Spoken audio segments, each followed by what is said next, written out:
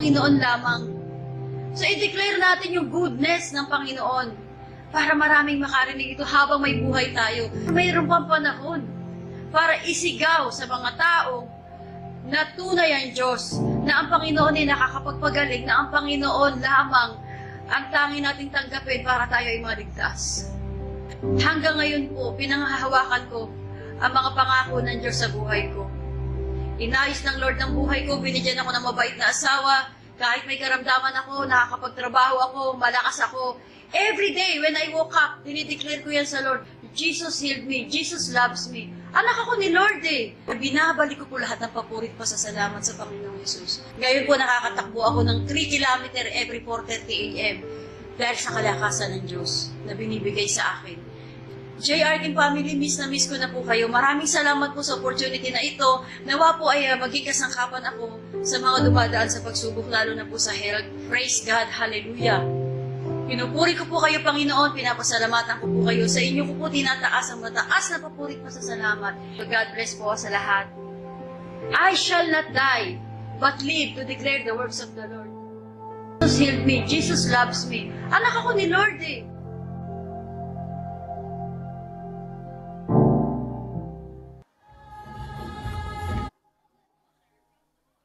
Praise God. Grace and peace. Amen. Ay, natutuwa ako. May nakita akong magagandang bisita. Amen. Nadagdagan ang beauty ng JRK. Amen. Kamusta po kayo? Blessed. Sino ang may mga answered prayers this week? Amen. Lahat tayo masasagot ng Panginoon ng ating mga mga prayers. But before we start our service, uh, may I request everybody to please stand up and allow me to read to you a scripture from the book of Psalm before we open the service with an opening prayer. In Psalm chapter 19, verses 1 to 3, the scripture says, The heavens declare the glory of God, and the firmament shows his handiwork. Day unto day utters speech, and night unto night reveals knowledge. There is, there is no speech nor language where the voice is not heard. Mga kapatid, kaya po ako nagtanong kung sino sa inyo may mga answered prayers because walang anak ng Diyos na hindi nagbibigkas ng mga salita na hindi naririnig ng ating Panginoong Diyos. Amen? And yes, indeed, uh, marami tayong uh, nais mangyari sa buhay natin, but uh, let us always remember that uh, God is watching us. And the first thing that He wants to see in us is yung laman ng ating mga puso. No? If our heart is straight with God, there's no reason for God not to uh, answer our prayers, but first of all, uh, He will have to correct what's in our hearts para maging smooth ang ating uh, journey, ang ating relationship sa Kanya. And so, again, uh, we're here today to worship the Lord in spirit and in truth. And of course, as we prepare our hearts to worship Him, to listen to His words, uh, we will prepare our hearts for praising Him and worshiping Him uh, in our Acoustic Friday. Sarap pakinggan, no? Acoustic Friday. And uh, so let's close our eyes, let's take a deep breath, and uh, let's come to the word to the Lord in, in prayer. Father, Lord God, gracious, most loving Father, salamat Panginoon sa pagka-Diyos niyo sa buhay namin. We thank you, Lord, for today, that once again you have called us into this place. Lord, you have made our, our feet light, and you brought us to this place once again with a new hope in a brand new day, in a brand new life, in a brand new inspiration through Christ Jesus. Father, we just want to thank you that again in, in this day today, we you made that you've made for us, we are rejoicing and we're glad because we are able to commune with you in spirit and in truth. And Lord, forgive us of our shortcomings as we forget, forgive those who have uh, made some shortcomings against us. And Lord, uh, we know that uh, uh, kung kami lang Panginoon ang tatanungin, parang hindi kami karapat-dapat tumayo sa inyong harapan, but because of your favor, because of your grace, here we are, Lord, standing in front of you. And Lord, we want to thank you for the air that we breathe. Thank you, Lord, for the bed that gave us physical rest. And thank you, Lord, for the spiritual rest. Thank you, Father, that uh, in your omniscience, in your omnipresence, Father, you know that we really need you in our lives dahil, Panginoon, wala kami magagawa kung wala kayo sa buhay namin. And thank you, Lord, for the time that uh, binibigyan nyo kami ng mga challenges sa buhay namin to gauge our faith in you. As you have been faithful to us, Lord, hindi pa hindi ama ma- ma- matatawaran ang ginagawa niyong kabutihan sa buhay namin. And Lord, at times may mga burdens kami, Panginoon, but nandyan kayo. You, you always remind us that your distance from us is just a prayer away. And so, Father, we pray that today you will be with us once again. Lord, as we start to uh, be with you and as, to sta- as we start to feel your presence in, in this place, Lord, we thank you, Lord, that uh, once again you have emptied our hearts with things, Lord, that bothers us.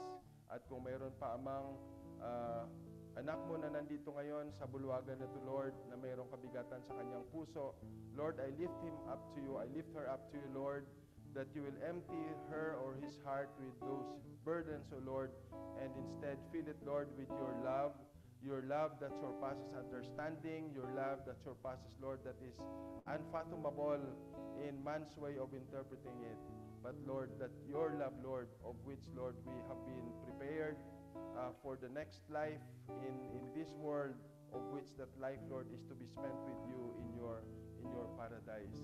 Father, thank you for your body. Thank you, Lord, for uh, making us as your church, as your bride, waiting for you as our groom to come for the next, for the second time, Lord, to take us with you. But Lord, as, we are- as we are waiting and preparing for your second coming, Lord, make us worthy to be of service for the furtherance of your kingdom. And Lord, I also pray that those who are joining us online, you will also, Lord, bless them. Take a look at their hearts, O Lord, and make them worthy, O Lord, to also stand before you. And Lord, I pray that uh, whatever may, may hinder them from paying attention, Lord, in today's nagawain, Panginoon, ay, Panginoon, uh, help us na may rebuke, Lord, ang mga sumasagabal sa puso't isipan ng bawat isa ng ang aming uh, ang aming attention Lord ay nakatuon lamang sa inyo. Thank you Father for bringing us safely to this place. And Lord, we pray para Lord sa aming mga kapatiran na hindi namin kasama ngayon. Lord, we also pray na may mga sa lahat ng may mga karamdaman, we pray Lord that you'll continue to extend your healing hands unto them. Father, we also pray for those who are in need, in need of comfort, in need of provision, and in need of forgiveness, Father, that you will you will take care of them, O Lord, so that they will become worthy of your favor, of your grace.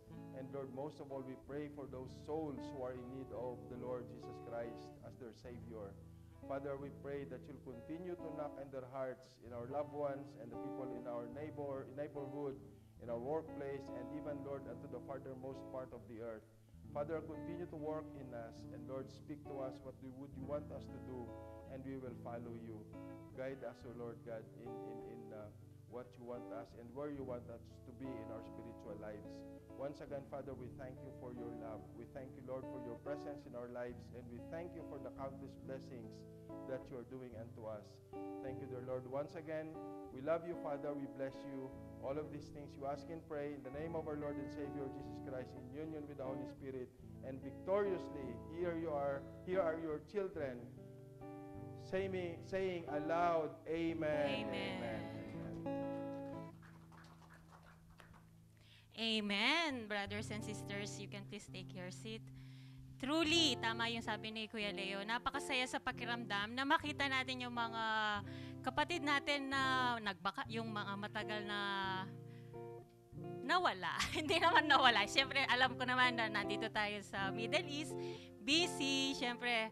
Pero every time na may pumapasok na matagal nating silang hindi nakikita, nga, now I understand bakit ah, yung puso ko kanina pa kumakaba-kaba ng ganyan. Kasi pala, ang dami. And ah, napakasarap sa pakiramdam na makita kayong muli. Welcome, brothers and sisters. Welcome back to JRK Church. So, just to remind, uh, who are we? So, uh, brothers and sisters, let us read all together we, our life verse, which is Praise be to the God and Father of our Lord Jesus Christ. In His great mercy, He has given us new birth into a living hope through the resurrection of Jesus Christ from the dead. And we have a mission statement which is to disciple and facilitate the growth of relationship to God of every living soul that God will entrust to Jesus, the resurrected King Church. At the same time, we have our vision statement which is a congregation with a strong relationship with God that is full of the Holy Spirit and love for one another. Okay, brothers and sisters, for our announcement, uh, anyone who would like to testify sa, for the blessings of God, no, you can approach any leader or any elder from JRK Church. Kung gusto nyo pong mag-testimony dito sa harap to prove that God is really the miraculous God, no, that He love us. Kasi napakasarap sa pakiramdam na marinig ng mga kapatid natin kung gaano ka kagaling ka, I mean, kabait ni God to give us the blessings that we prayed for for a long time. So, wag po kayong mahiya. Uh, just approach any of our leaders so that we can schedule you po. And every Saturday, we have our intercessory prayer. And this July 6, it will be at 7.30 p.m. uh, and it will be face-to-face. So, because uh, every month, we have face-to-face session and online session. For this week, it will be face-to-face here in our worship house. Uh, worship team is still uh, inviting anyone who has the who feels who is gifted in singing or playing any instrument. Wag po kayong mahiya. You can approach our worship team director, Bro Manuel, eh, and our uh, one of our uh, head also in worship team, which is Bro Jeff. Uh, and every Fri- uh, every Thurs second Thursday of the month, or every se- every other second Thursday. So this is to inform everyone that we, GRK Church, are doing an outreach program to MOW, uh, MO, MWO shelter migrant workers. So I've been there once and it's really like uh, we are living the mission and vision and life verse of JRK Church. So I invite everyone, you can ap- approach Brother Leo for the scheduling of uh, transpo. At mga kapatid, it's really a life-changing event. I can testify that to you. And uh, just a reminder, we have our Facebook page. So you can follow, everyone is uh, encouraged to follow our Facebook page and uh, YouTube channel. So, brothers and sisters, I believe we are ready to praise and worship God, right? So, tumayo po tayong lahat as our praise and worship will be led by Brother Ronel. Amen. Hallelujah. Are we blessed? Amen. Yun, ang lakas. Isa pa po, are we blessed? Ayun. Ah, are we thankful? Are we, um, ah, may pagpas, meron ba tayong mapagpasalamat na puso? Yun. So, as I believe na hindi natin pakilala ang isa't isa at na-miss natin, so we can, we can, ah, pwede tayong umikot para shake ah, the hands of the others, makilala, ah, ma-meet natin ulit sila habang kinakanta natin ng thank you, Lord. Amen? Hallelujah. Sige po, ikot po tayo. So, basahin po natin. I'll give thanks to you, Lord, with all my heart. I will tell you of all your wonderful deeds. I will be glad and rejoice in you. I will sing the praises of your name, O Most High.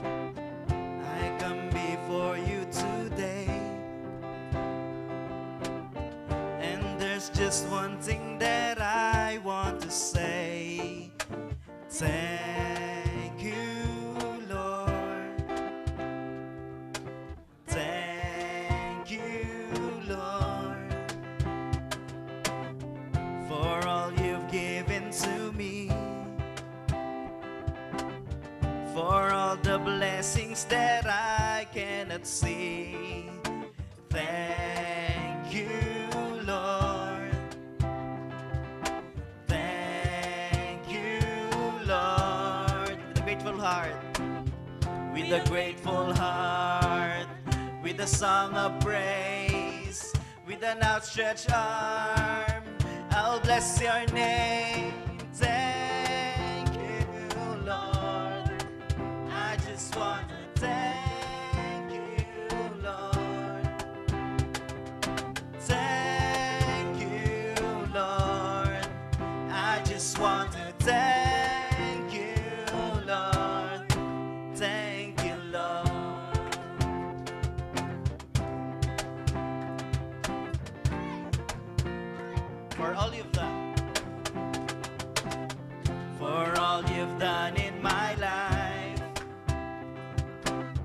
You took my darkness and gave me your light. Thank you, Lord.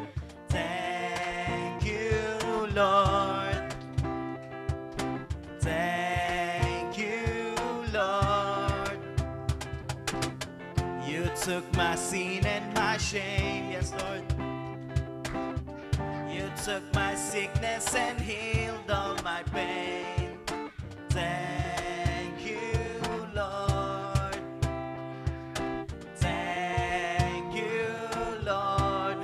heart, with a grateful heart, with a song of praise, with an outstretched arm, I'll bless your name. Thank you, Lord. I just want to thank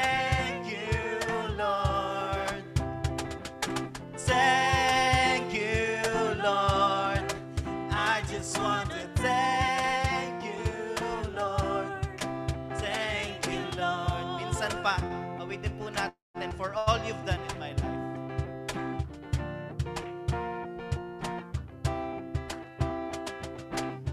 For all you've done in my life.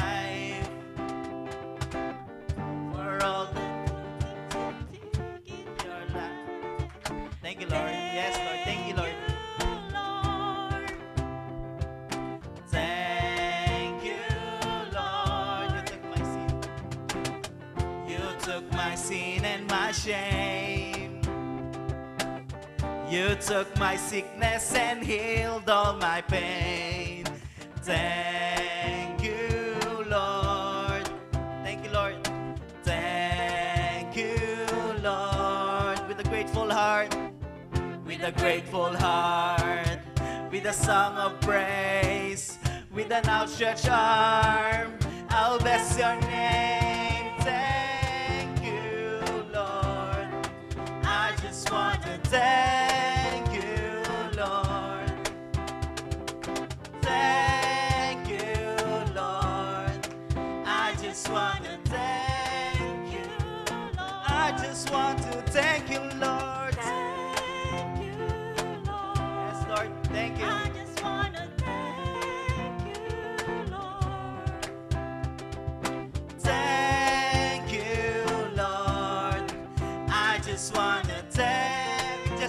thank you, Lord. Minsan pa.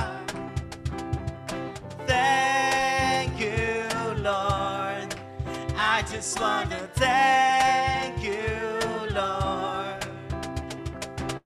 Thank you, Lord. I just want to thank you, Lord. Thank you, Lord. Yes, Lord. Napakadami po namin dapat ipagpasalamat, Panginoon, Lord. Dahil we are so blessed, Lord, that you are the God that we praise, Lord. Buhay ka, Panginoon, sa buhay namin. Maraming maraming salamat, Lord, for all you've done in our lives. Salamat, Panginoon. With a grateful heart, with a grateful heart, with a song of praise, with an outstretched arm, I'll bless your name.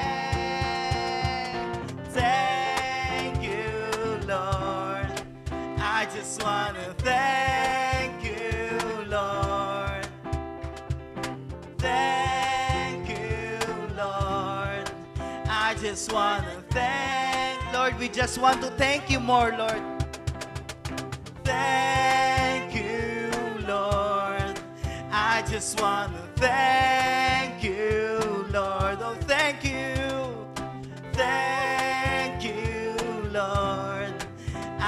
just want to thank, Lord, ang sarap magpasalamat sa iyo, Panginoon.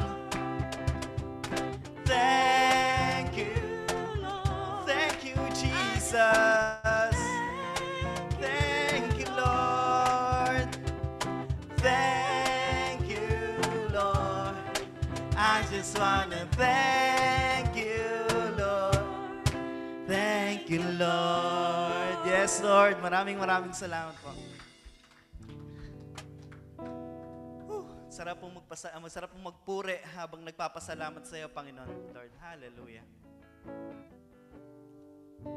That's why we are here, Lord. We will sing this song, Panginoon, with all I am, Panginoon. With all our soul, with all our mind, Panginoon, Lord. Inaalay po namin sa iyo ang aming buong buhay. Hallelujah.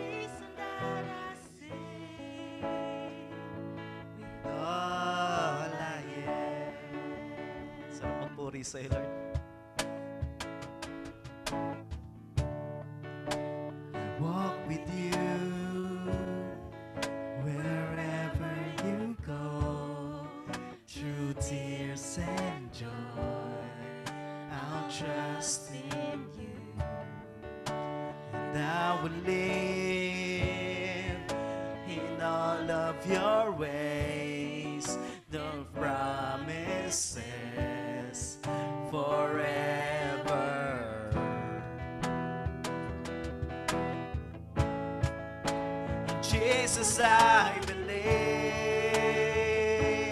in you. Jesus, I belong to you. You're the reason that I live, the reason that I sing. With all, minsan pa, kantahin po natin, I walk with you.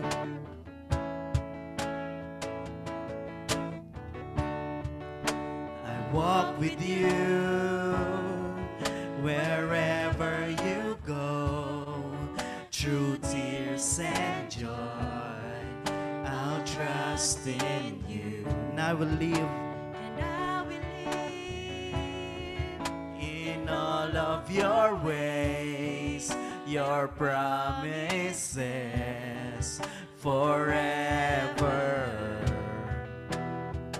Yes, Lord, we, we, will believe, believe to you, Jesus. Jesus, I believe. in you. And Jesus, I belong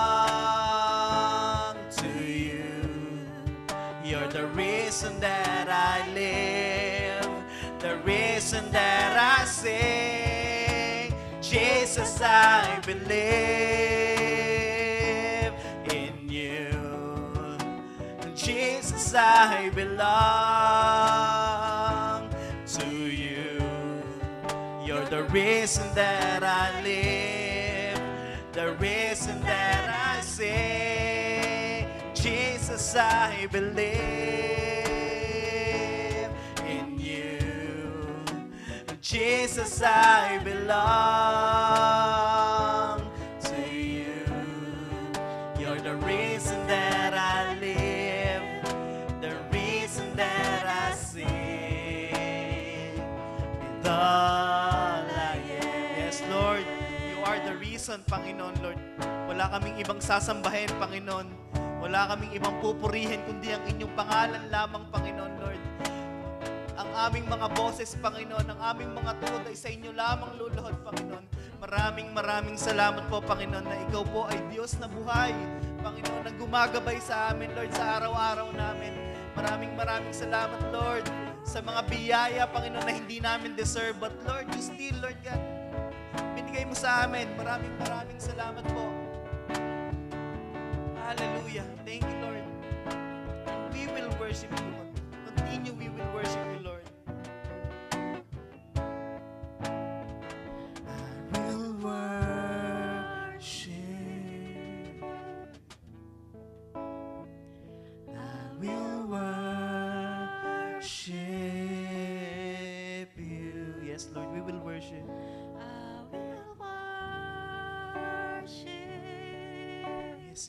Jesus.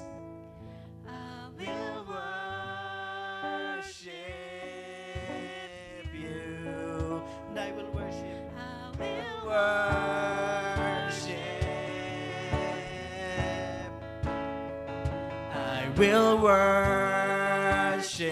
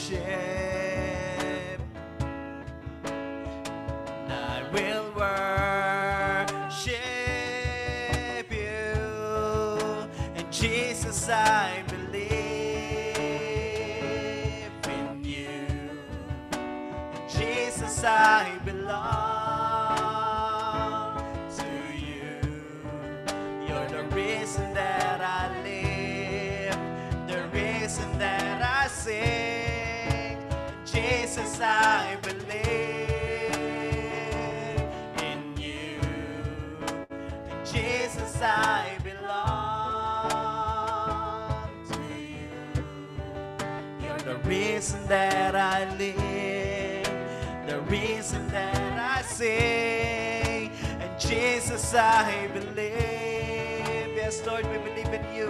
Yes, Lord. We are belong to you, Lord. We are your children, Panginoon, Lord God. Maraming maraming salamat, Lord, that you called us, Panginoon, Lord God, by our names. Not by our mistakes, but by our names, Lord.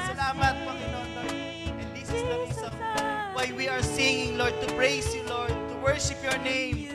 Hallelujah. To spread your words, Lord. Salamat po. Maraming maraming salamat, Panginoon, Lord, for this privilege, Lord God. Hallelujah. We will continue worshiping you, and we will continue worshiping you.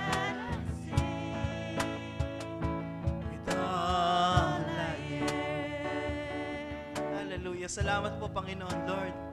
For you are the King of Kings, Lord. You are the Lord of Lords. Hallelujah. You are the Prince of Peace, Panginoon, Lord. Maraming salamat that you are with us. Maraming maraming salamat for everywhere we go, Panginoon, Lord God. You are protecting us, Panginoon. And we thank you. We thank you for that, Panginoon, Lord God. Truly, Panginoon, deeply from our hearts, Panginoon, Lord God. Thank you for protecting our family. Lord, lalong-lalo na wala kami doon, Lord. But you are, Panginoon, Lord. You are there, Panginoon, Lord God. Maraming maraming salamat sa pagprotect mo, Panginoon, Lord. Sa mga biyaya, Panginoon, Lord God. We will worship you continually. Every day, every second of our lives, Panginoon, we will continue worshiping you. Maraming maraming salamat po. Lord, ito po lahat, Panginoon, Lord God, ay aming hinihiling at aming ipinapanalangin sa pangalan po ng inyong anak na si Jesus, kaisa po ng inyong banal na Spirito. Amen.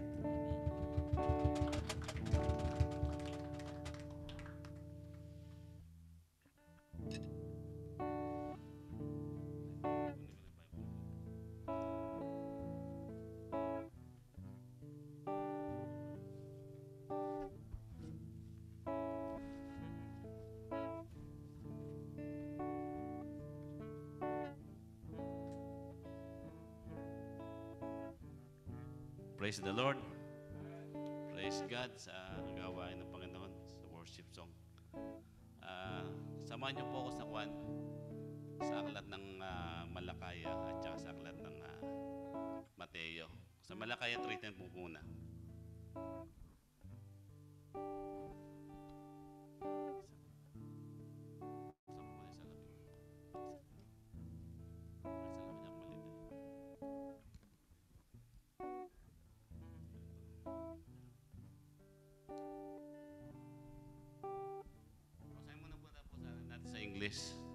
Sabi po doon sa may Malakaya 3.10, Bring the whole tithes in the storehouse, that there may be the food in the house.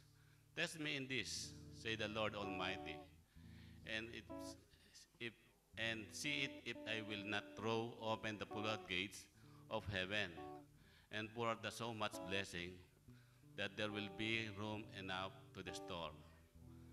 Doon po sa may Mateo 26, ay 6.23, ay 6.33. Sabi niya po rito, But seek first His kingdom and His righteousness, and, and these things will be given unto you as well.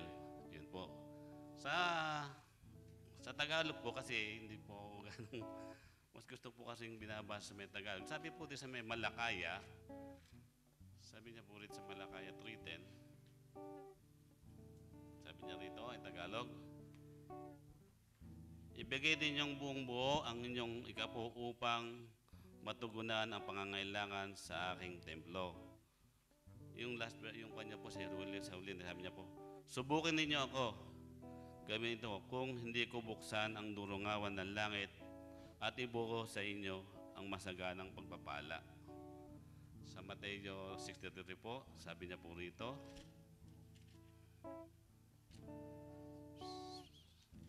po rito,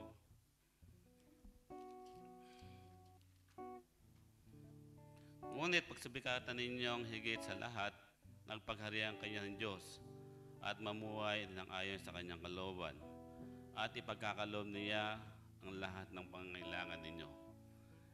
Kung titignan po natin sa verse na to, palasak na to eh, pero yung nilalaman ng ah, context niya, tinitingnan po sa atin yung faith natin, kung gaano tayo kalalim.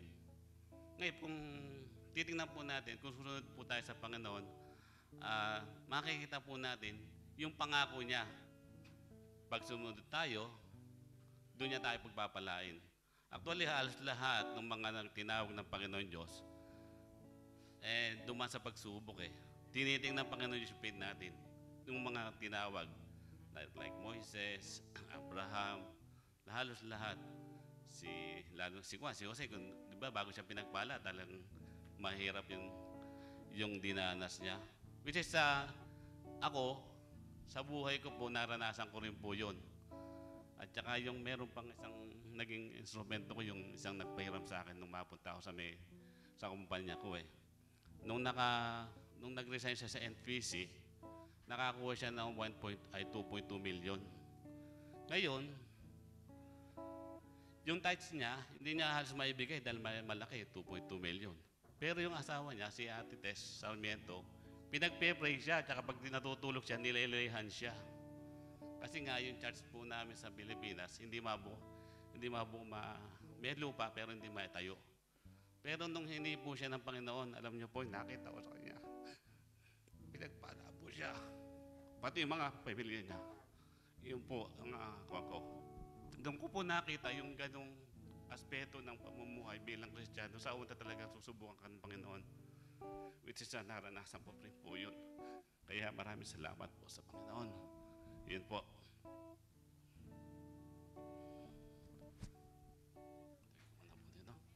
Sige po, tayo po tumayo at manalangin. Ilayas po natin yung pinagkaloob po natin sa Panginoon. Hallelujah. Yes, Lord.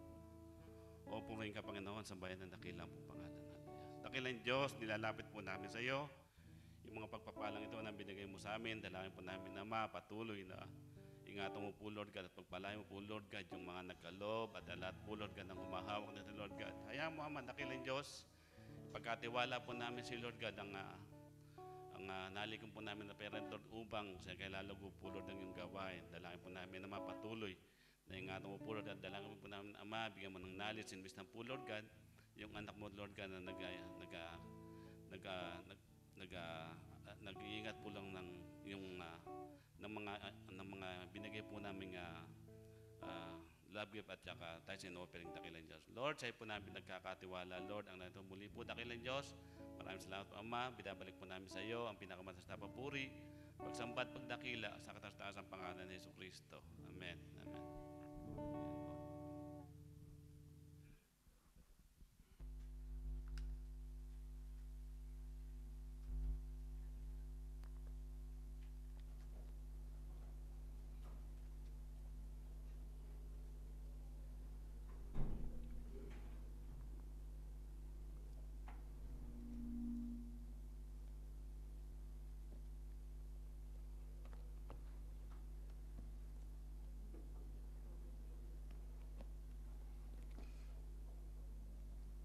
Napakaganda ng praise and worship songs na ating inawit.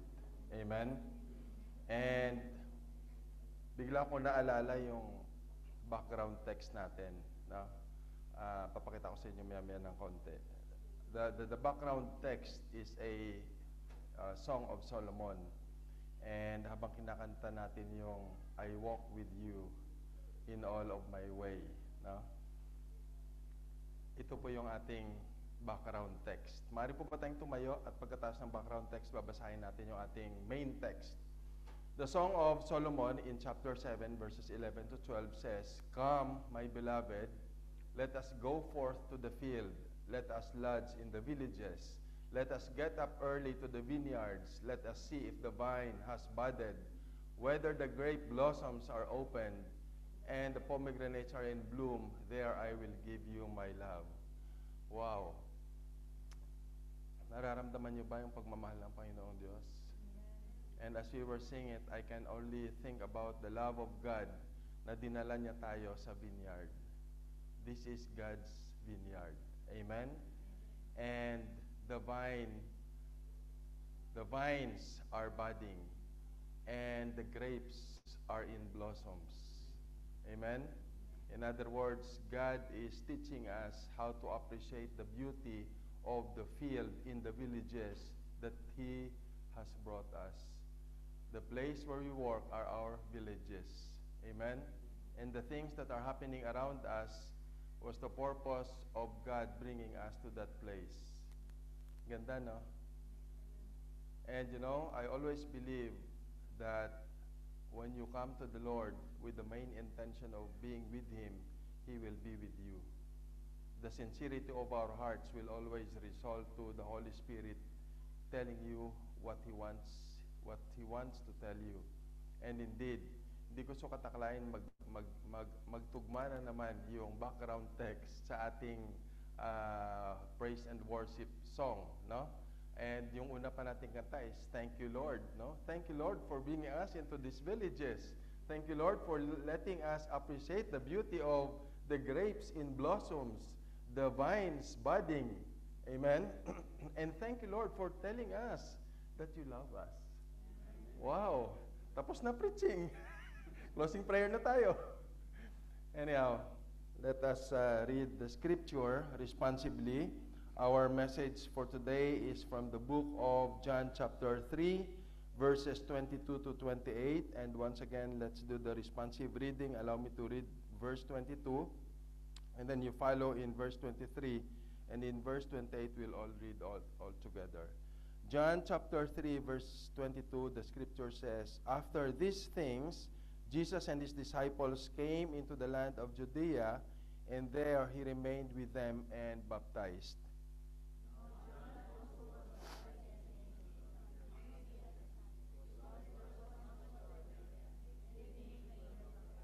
For John had not yet been thrown into prison.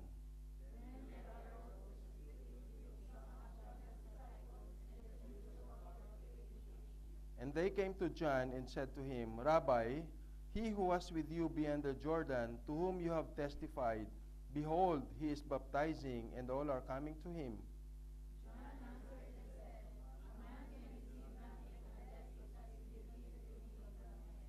Altogether, you yourselves bear me witness that I said, I am not the Christ, but I have been sent before him. Let us come to the Lord in prayer. Father, we thank you, Lord, for your lordship over our lives. And Lord, thank you for allowing us to read your scripture today. And Father, we pray that as we listen to your message, Lord, you will open our you will open up our hearts and our minds. That Lord, these words will be implanted in the most fertile soul of our hearts, and we'll be able to live these words until the next time you will impress upon us a new message.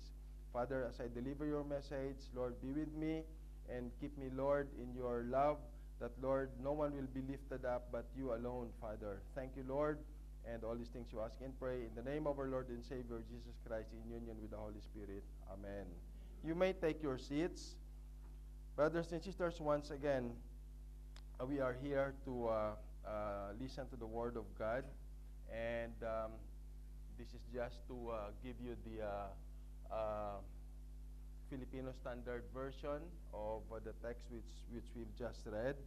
And just to give emphasis on it in our own language, pagkatapos ng mga ito, uh, John here, the uh, beloved, John the beloved, is writing that uh, after all of these events, and uh, in a while I will tell you what those events were, nagtungo si Jesus at ang kanyang mga alagad sa lupain ng Judea at doon nanatili siya kasama nila at nagbautismo. I want you to take note of the word here, baptized.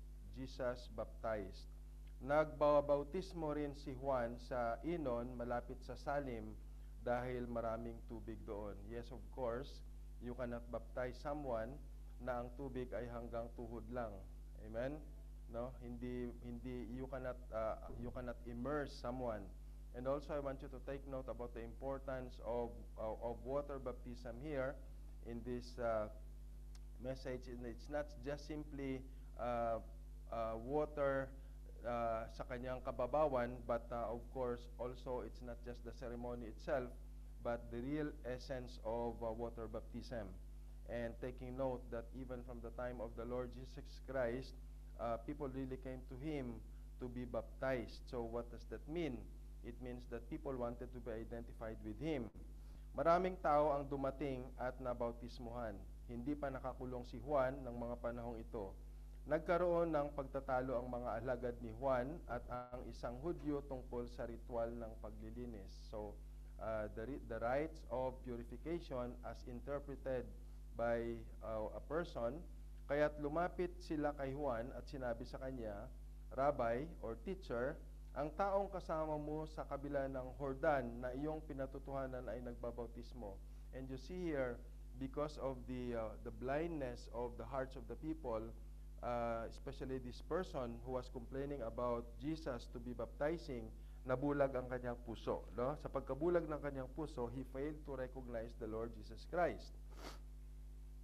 Kaya lumapit siya kay Juan at sinabi sa kanya, ang taong kasama mo sa kabila ng Hordan, failing to recognize that that was the Lord Jesus Christ, who was the Messiah that they've been expecting to come, na iyong pinatutuhanan ay nagbabautismo, pumunta sa kanya ang lahat. Again, the spirit of the devil has started to uh, to work in the heart of this person about uh, some sort of uh, discomfort and thinking that there's a competition happening between John and Jesus. Sumagot si Juan, hindi makatatanggap ng anuman ng isang tao malibang ito ay binigay sa kanya mula sa langit.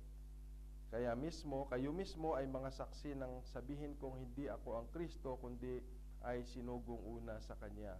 My brothers and sisters, the events which took place until this time that Jesus came into Judea started from John chapter 1 verse 29 when John, John the Baptist, saw Jesus coming toward him. And uh, moving on to verse 35, uh, Jesus was looking at Jesus, no? Nakikita niya ng Panginoon sa Kristo. And as we all know in the book of Luke, how how John and Jesus met. Amen? And how their parents, uh, uh, Zechariah and uh, Elizabeth, the parents of uh, John the Baptist, and Mary, uh, the Virgin Mother of Jesus, met, and how were they blessed by the Holy Spirit. For them, uh, Zechariah was in his old age with Elizabeth, and look at the contrast. Mary was a very young uh, girl. No? Uh, it's believed that Mary was just around 16 years old.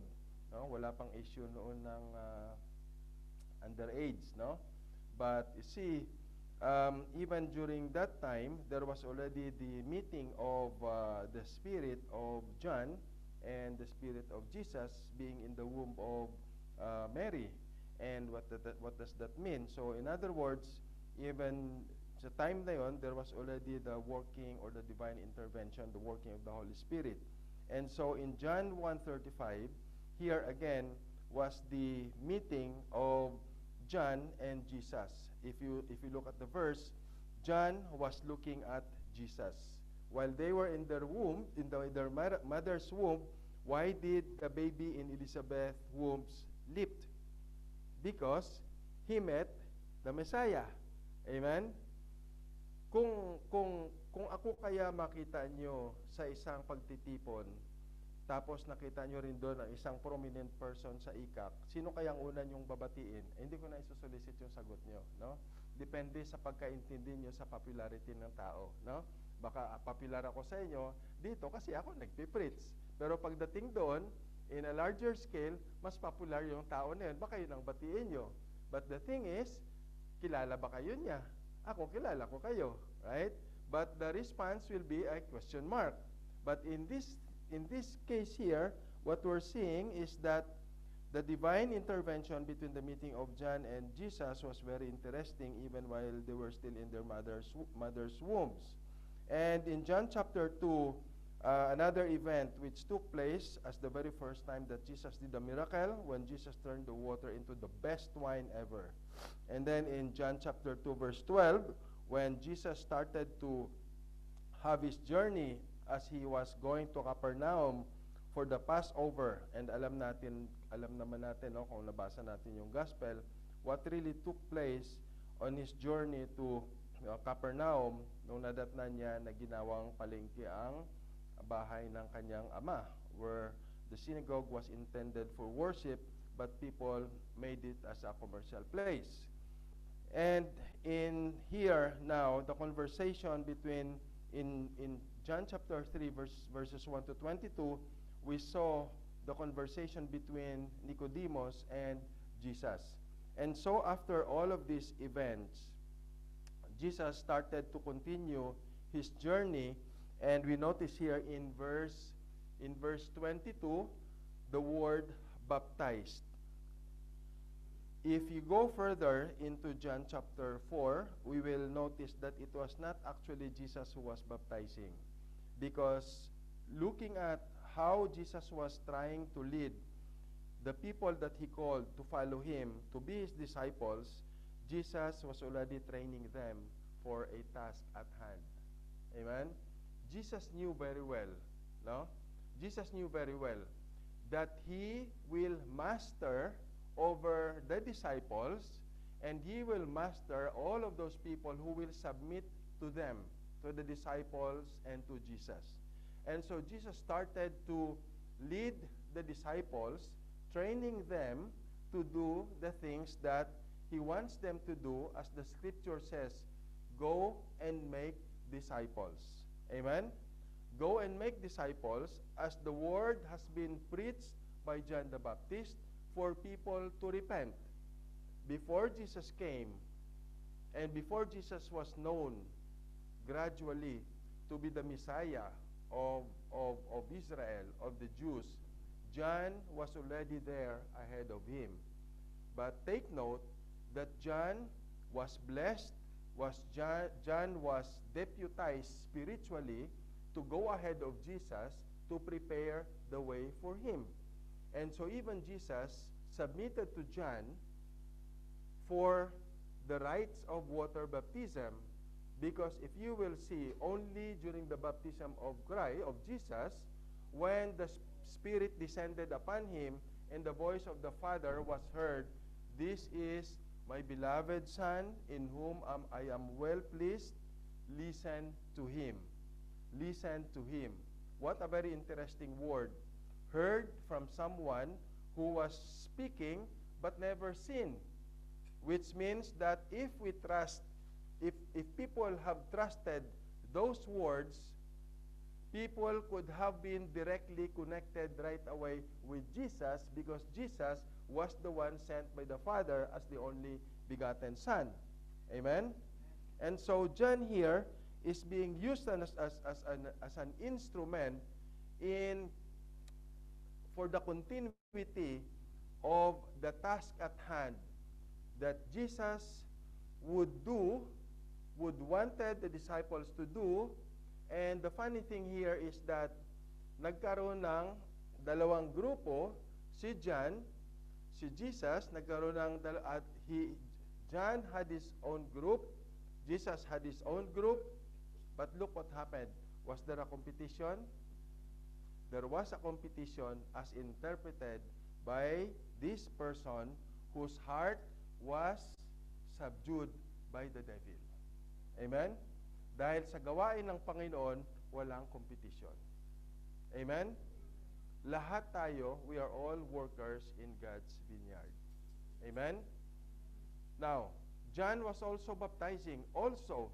So in other words, this is the map of, if you can see here, the journey of Jesus. Look at Nazareth here on the on the uh, on your left side, and then look at where Anon and Salim was. These places were known to have plenty of water. As I've said, hindi pwedeng malubog ang tao kung ang tubig is hanggang sakong lang or hanggang tuhod lang. Knee deep only.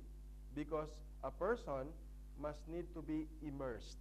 That's why it's called baptism by immersion. What's the purpose of that? Pag nilubog ka, talagang lubog, kaya nga pag nilulubog tayo during baptism, tinatakban yung ilong natin para malubog yung buong katawan mo for washing, for purification. Amen? You can never be purified if only part of your body is immersed into water. Like for example, uh, may ginagawa ka, no? Let's say you were from your vacation after 60 days. Wow, 60 days vacation. Let's say 40 days. Sana all 60 days vacation. Let's say 40 days. And unfortunately, during your vacation, that, that, that, that was the period of transition from spring to summer. And we all know very well what's happening from the transition of spring to summer. Nagkakaroon ng sandstorm, di po ba? And we all know very well that in this place, lahat ng pwedeng pasukan ng alikabok, papasok ang alikabok dyan, no? So every day, makikita mo yung alikabok, kalilinis mo lang ng, ng counter, pag ganyan no, may alikabok na naman, sa TV meron na naman. So maglilinis ka. You will dust off your curtains, everything, and then what will you do next? In the absence of a bathtub, magsha-shower ka, di ba?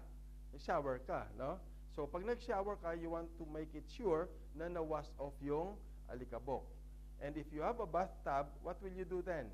Of course, you will immerse yourself so that you can be washed totally. Amen? And so in these places, Salim and Anon, this, these are the places known to have plenty of water. And so look at this. Um, John and his disciples were baptizing in Anon and Salim, and then uh, Jesus was down here on his way to Judea. So medyo malayo-layo ang lugar, no? But of course, we always say, may pakpak ang balita, may tenga ang lupa. Amen? So you see, yung ah, idiom ba tawag doon? Yung idiom na yan, nangyayari na noon pa. Yung kala nyo, yung Marites in the 21st century? No. Diba? ang Marites noon pa, no? So, Jesus and John were known to be doing the same thing. They were baptizing, but for the furtherance of God's kingdom. Because this was already the starting point of the ministry of Jesus, and nobody knew except Jesus himself, being a person in the Trinity na ang kanyang ministry ay may katapusan. Amen? Siya mismo, siya lang mismo nakaalam, being the, the, the other person in the Trinity. But He Himself, kung sa Kanya lang, hindi niya alam bilang tao na si Jesus. But because we all know that Jesus lived for 30 years in the shadow of the son of a carpenter. Amen? So, nag, nag, nag, nag-plane, he, he planed the woods, he cut woods, nagkatam siya, lahat ginawa yung ginagawain ng karpintero. But nobody really knew that this man living in the shadow of a son of a carpenter was already the Messiah. No? So sometimes, in, our lives, nagugulat tayo na the person that we are associating with, meron pala tong katungkulan sa, sa society, no? Or sometimes, meron pala tong magandang ginagawa sa buhay, hindi natin alam. Because human as we are, we are so judgmental with how people look, right? And, we all know a lot of stories, no? Na minsan pag umuwi tayo, dahil we, we are used to living in this place that is so hot. So when you go to the mall in Philippines, you will wear walking shorts and uh, slippers and nobody will entertain you, right? Because you look like mukha kang gusgusin, wala kang pera, no? And of course, again, in our human reaction, we react to the max na hindi tayo binibigyan ng attention. And guess what? That's also a test of patience. Amen? A test of patience, no?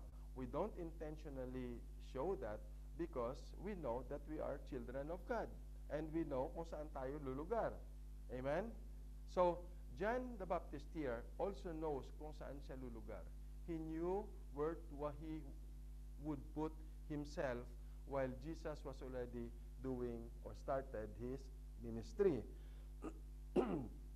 so, our Lord Jesus, after he entered upon his public work, of course, that started in uh, uh, turning uh, the, the water into the best wine, he kept moving.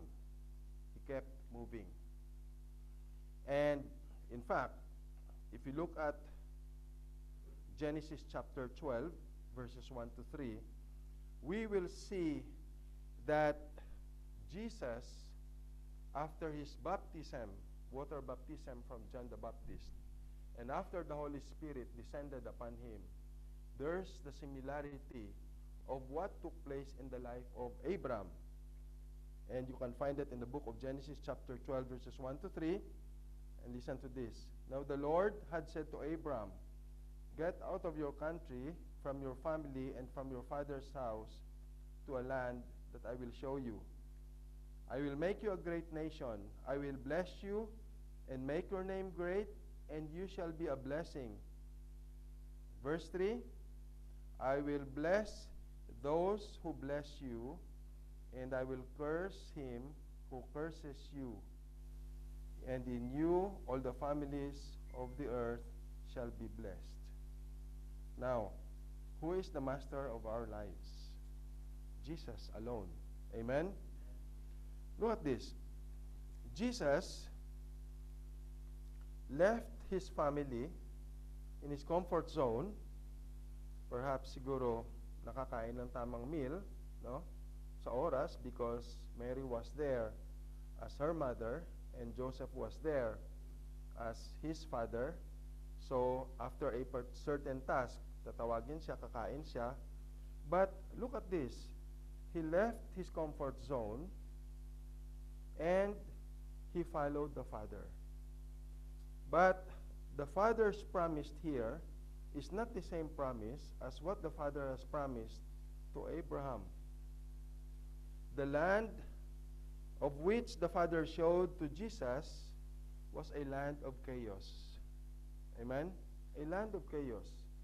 People were waiting for the Messiah, their Messiah, but they did not know that their Messiah is already there in the person of Jesus. And the same thing is true with what's happening right now. People would rather pursue the desires of their heart rather than the desire of the Father, the Creator. We cannot blame them. We cannot blame them. Partly, yes, we can blame them, but we can blame ourselves. Did you know that? We have to blame ourselves because we need to ask this question Where are we in the furtherance of God's kingdom? Have we been partaking in missions? We all have churches back home in Philippines. We all know a lot of churches. We give our tithes here, if we really do give.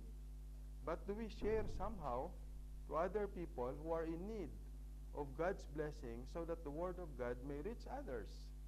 We keep on saying, Go ye and make disciples. We keep on saying we are participating in the Great Commission. But the question is, where are we in the Great Commission? Amen? And I believe God has called us, will call us to participate or to partake in the Great Commission. I really believe that God is doing His part for us to be worthy to be called partakers of God's Great Commission. Amen? And as we can see, a lot of prayers have been answered in this church. God is working mysteriously behind, behind what we can imagine. Amen? The, the, the, the, the task at hand is so huge. But the question is, where's the willingness of our heart to partake in God's calling for us to partake in the vision? Amen? So, God is really teaching us. So, Jesus, as he left his family to do or to start the work, he also started to do a work. And that guy who said, John, Rabbi, teacher, look, as you're doing this task, someone else is also doing that, the same task as you're doing. And Jesus kept moving from one place to another place. And in the, in the Old Testament, in the Old Testament, look at this. Jesus was being followed by the multitude of people because, as Joshua said, when you see the ark of the covenant of the Lord your God. Who is our God? Our God is the God in the Holy Trinity. Amen? And before people knew Jesus to be the Messiah, Jesus was already there with the Father. And look at this. When you see the ark of the covenant of the Lord your God and the priests, the Levites, bearing the ark of the covenant. And who's in the ark of the covenant? God. And who's with God? The Father, the Son, and the Holy Spirit. And no wonder people were commanded to follow the ark of the covenant. Imagine this the creator of the world has no place for himself. Amen? And so, even Jesus, in his own time, he kept moving. Did he ask people to follow him? He sent John the Baptist to prepare the way for the coming of the Messiah and for the people to repent of their sin so that they will be ready to face him anytime they will get to meet him. We are here as Jesus the Resurrected King International Ministry Church, partaking in the Great Commission, spreading the gospel to end gospel poverty so that when Jesus comes, people are ready to face him. Amen? We are not only sharing the epistles of Paul. We are not only to share the good things Paul is teaching us to do to others. We are primarily to teach the good news that Jesus is the Messiah, Jesus is the Christ, Jesus is the Savior, the one who will save us, who has saved us, and will save people from hell. Amen? Yet there shall be a space between you and it, about a thousand cubits by measure. Do not come near it, that you may know the way by which you must go, for you have not passed this way before. The message of Joshua to these people before, these people were not ready to go near the Ark of the Covenant. But in Jesus' time, it was Jesus himself who went from place to place so that people will come to him. Look at the contrast between this message, the scripture, and the main purpose of Jesus starting his ministry. That's why the Song of Solomon, in our background text, I'm really smiling into this because it's really a song. You can put a tune into it. Maybe si Sister Cherry siguro malalagyan niyo ng tono to. No? Come, my beloved, let us go forth to the field. Come, Jesus the Resurrected King International Ministry Church, let us go to the field, to the places of the people who do not know Jesus. Let us go there. Let us lodge in the villages. Manahan tayo sa mga lugar. Amen? Let us get up 10 o'clock in the morning, 2 o'clock in the afternoon. What does it say? early. Let us get up early. Do the words of God while the words of God is still available. Amen? Let us get up early. Let us not forsake the time because the end is near. Amen? Every day, the time passes us by. The end is nearing so soon. Amen? Nararamdaman nyo ba yon? What date are we in now? Malapit nang dumungaw si, alam niyo na kung sino yun. Malapit nang dumungaw, no? Ngayon daw, sabi, nag-ano na raw, nagtutono na raw ang gitara niya, no? At nag-aayos na ng kanyang buhok para sa kanyang pagdungaw ay ano siya, no? Let us see if the vine has budded. Let us see if the people's heart are ready. Whether the grape blossoms are open and the pomegranates are in bloom, there I will give you my love. Ganda, no? Kanina napapapikit ako pagka ini-imagine ko yan eh. no? Because God is really calling each and every one of us. Amen? Sino sa inyo 30 years ago nanghangad, naghangad? Who among you dream that one day you will be in a place in the Middle East called Qatar? Nobody. Because we can only make our own projections in life, but God will always give us our own destination. And the place where we are in has been our destination. Amen? However, you will maximize your time here, it's up to you. But at the end of the day, always remember, God will always say to His servant, Well done, my good and faithful servant. The question is, are we working to be good? Are we working to be faithful? That when that time comes, we will have a pat on our shoulder and God telling us, Well done, my good and faithful servant.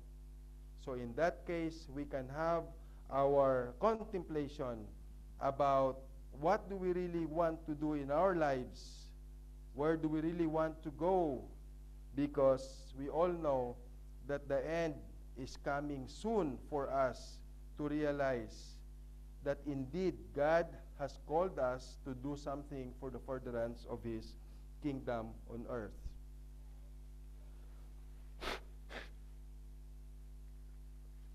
In verse 24 and in verse 24,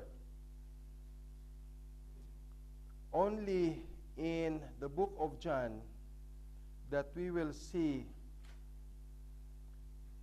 that Jesus here is telling us a number of things about his ministry. And in the three synoptic gospels particularly Matthew and Mark because in the book of Luke we have been told about the birth of uh, Jesus and Jesus being being the uh, uh, son, the son of man.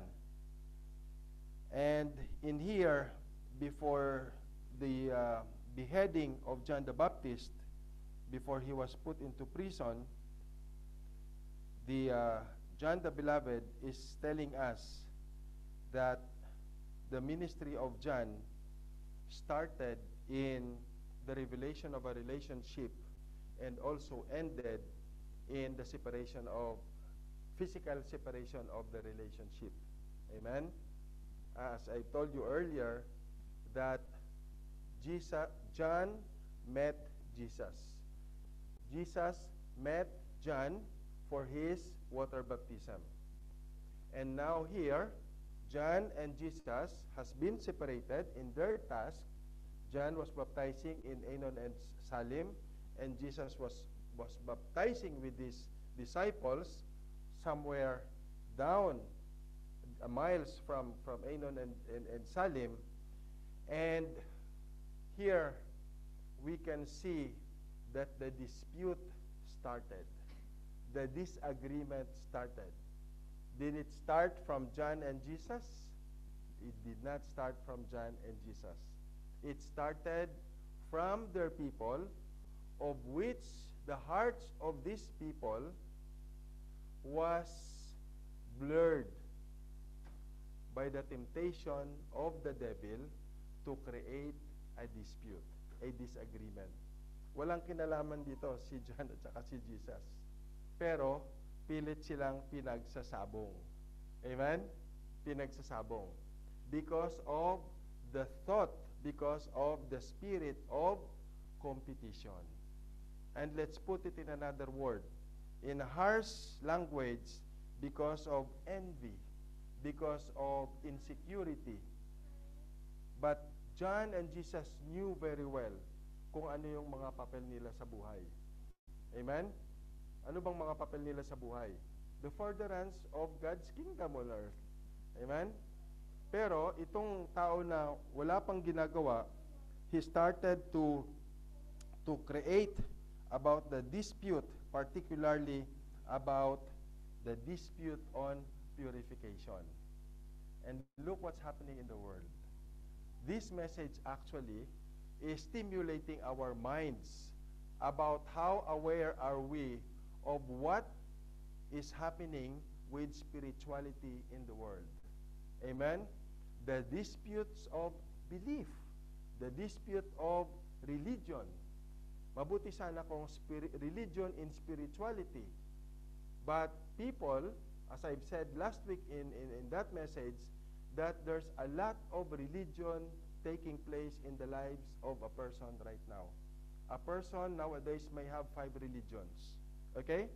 Being religious in Facebook or social media, being religious in eating, being religious in shopping, being religious in sleeping, being religious in other things.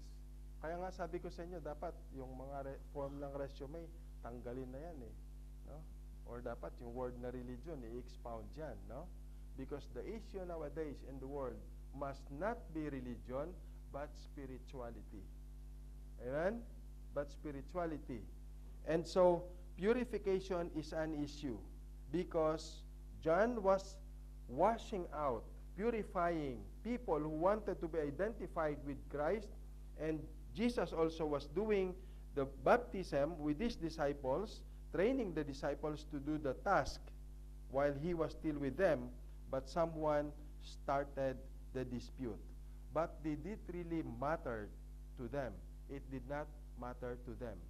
But the Gospel of Matthew is just, just lang naman eh, teaching us to what?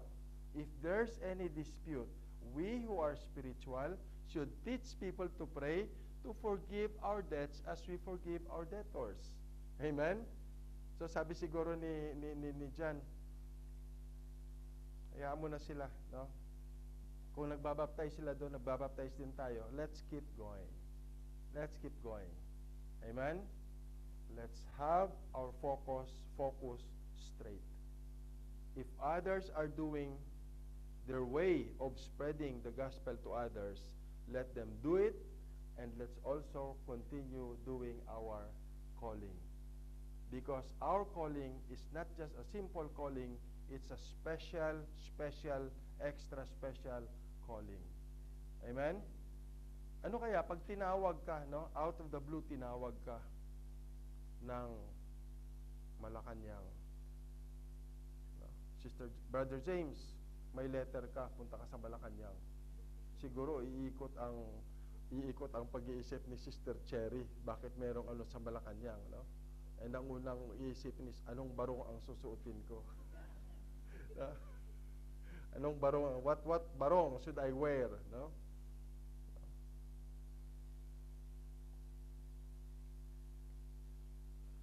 There's a question in this case, what we're reading is actually a question about authorities. The person, this person in the scripture who was telling John, they are baptizing, that group is baptizing. What authority do they have to baptize? Again, the heart of this person has been blackened by the devil. Amen?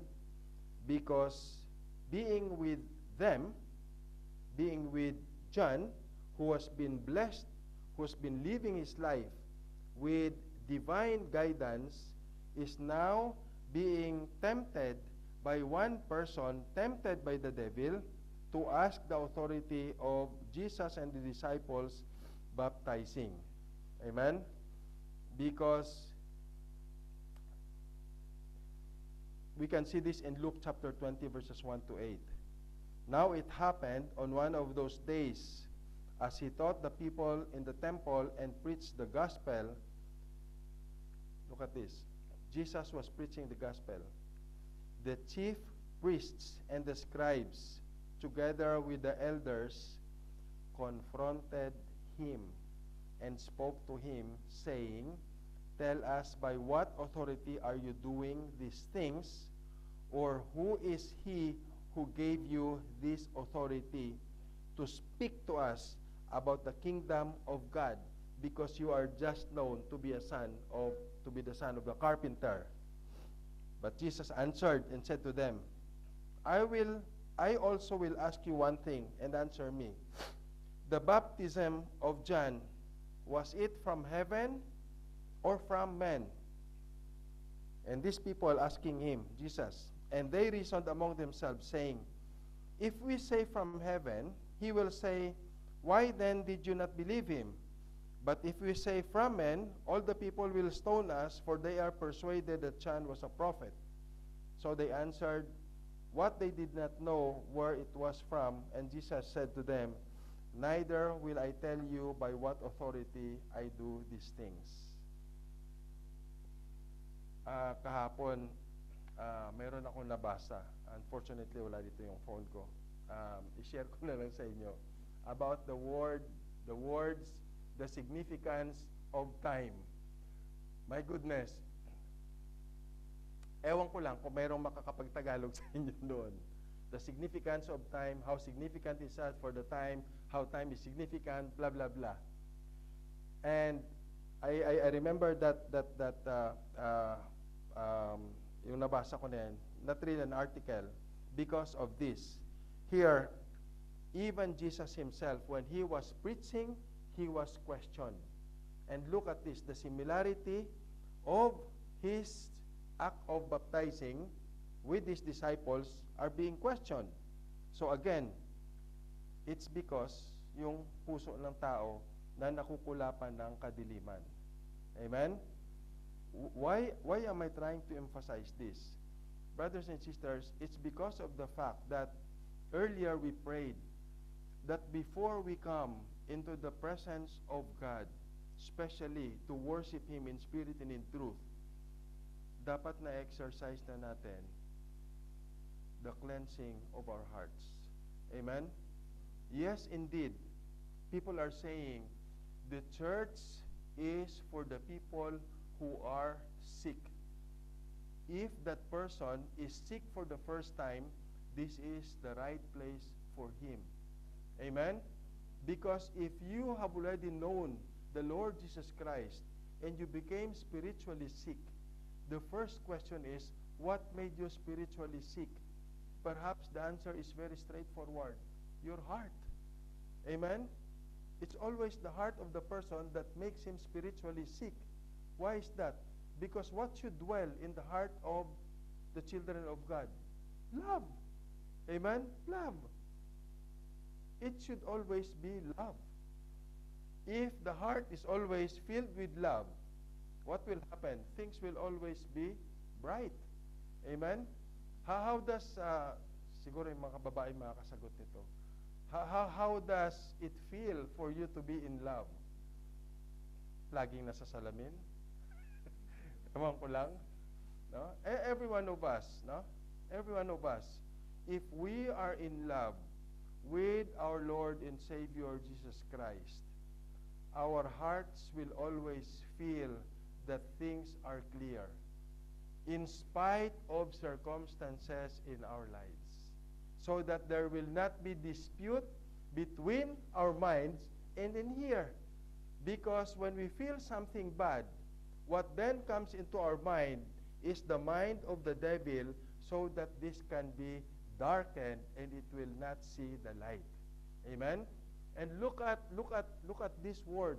Forgive us our debts as we forgive our debtors. The people who was criticizing the authority of Jesus even during the time when he was baptizing people with his disciples and look at when he started to preach the word of God. Amen. Well, nung panahon ni Jesus, alam naman natin na he was he was filled with the Holy Spirit because you cannot you cannot just simply have the guts to to to to, to spread the word of God if you're not filled with the Holy Spirit. It's not easy, no? Honestly, I have already embraced the reality that you know to to to, to preach the word is a really extra extra special calling. You know why? Because ang pahinga mo lang is mamayang hapon. Pagising mo kinabukasan, mag-uumpisa ka na mag-isip about the leading and guidance of the Holy Spirit to prepare the Word of God. Malungkot po ang buhay ng preacher. No? Bakit? Bakit malungkot? Ay kasi imbis na nagsasaya ka sa labas, no? Tuwing nakakaupo ka, iniisip mo yung Word of God. No? Now I need to tell you this reality so that you can also prepare that one day when you are called by God to stand here, you will not get to have that bad realization anymore. And God will guide you. God will call you to really embrace it. Amen? Why are you going to embrace it? Because He has already embraced you in His loving arms. Amen? And the Holy Spirit will always be there. And so with Jesus, the Holy Spirit was there with Him. Amen? Who were the disciples of John who followed Jesus? Ano to ah, hindi to political issue na nag anong term nila? Nag ah, lipat bahay, no? Naging political butterfly. Okay? In the time of Jesus and John, there was no issue about spiritual butterfly. They were really called. Amen? They were really called. Look at John 1 38 to 39. And Jesus turned and seeing them following said to, the, said to them, What do you seek? Anong hinahanap niyo mga kapatid? Bakit narito kayo sa lugar na to, sa araw na to? Why I am here? What I am here for? Today is Friday and it's the first day of the week. And the week where the salary is still fresh. Amen? Okay? And the malls now are very inviting, enticing, no? because of the four-letter word with the red background. Tama ba ako? With the small text below, only on selected items.